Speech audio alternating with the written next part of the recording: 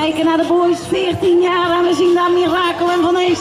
Allebei een hele snelle start. Het is Mirakel als eerste door die bocht. Van Hees daar op 2.